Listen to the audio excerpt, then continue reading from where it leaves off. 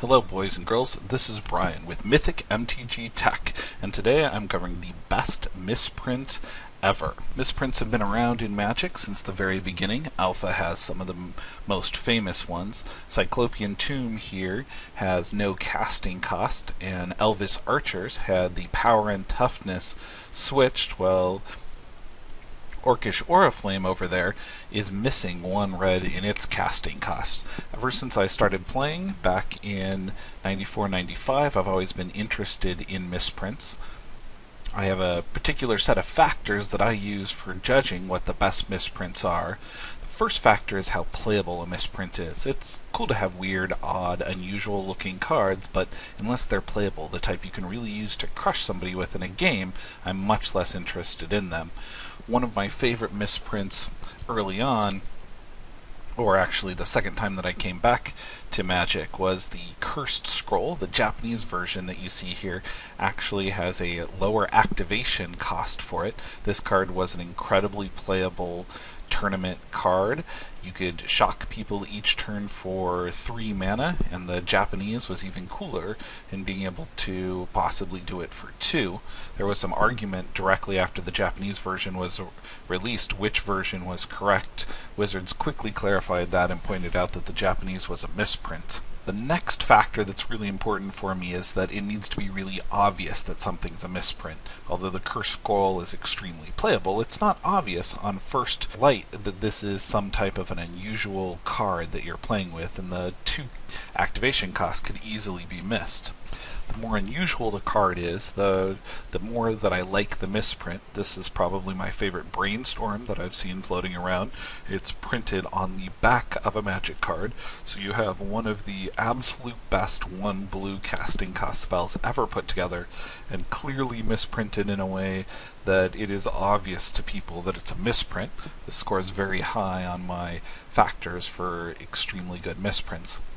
The last factor that I have is when you can multiply what's going on in some way. If you can double the fun of the misprints.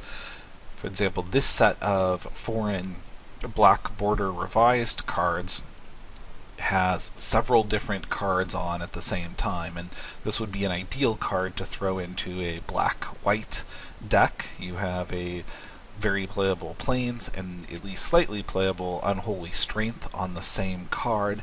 Uh, it's very rare that you find cards that combine these multiple aspects that are both playable and cool. So we're going to move on to why I think that I have found the best absolute misprint ever. I'm a little bit biased. I, early on, I was a stasis player.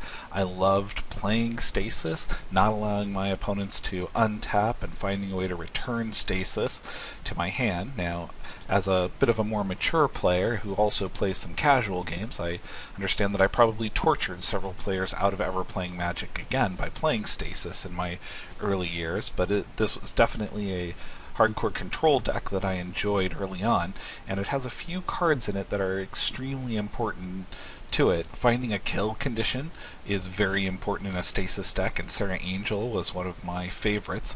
The Vigilance ability, or as it was called at the time, does not tap when attacking is extremely useful when your deck doesn't untap. Also really liked the artwork from this card, and this is a classic for an alpha and beta. This card was even pulled at one point in time for being too strong of a creature. Uh, wow, how Magic has changed, where this is now considered a bit too weak of a creature to make most tournament decks. The other card that really jumped out to me as, as amazing when it was printed was Time Elemental. Time Elemental in Legends has the ability to return a permanent to owner's hand for 4 mana. This allowed you to get out to play lock decks, where you were returning possibly two permanents per turn or two of your opponent's land per turn. Also comboed extremely well with Stasis and being able to return Stasis every turn at the end of your opponent's turn so that you got untapped phases and your opponent didn't. This is this combination of these two cards is what brings me to my absolute favorite misprint ever, the best misprint that has come out. That is the Angel de la Serra with the Time Elemental artwork on it. If you'll notice, it's got the artist uh, for did it for. Now we're moving on to my absolute favorite misprint ever. This is the Serra Angel with Time Elemental artwork on it. This brings back a lot of nostalgia of two cards that I loved playing, and occasionally even playing in the same deck, combining to them together to make what is a very, very pretty, very playable, very useful card from that early Magic history. These is a fourth edition rare printed in Italian and has obviously the wrong artwork on it. It's extremely cool and rather rare misprint. Love to hear your feedback on what you think the best misprint is, either using my three factors or your own factors.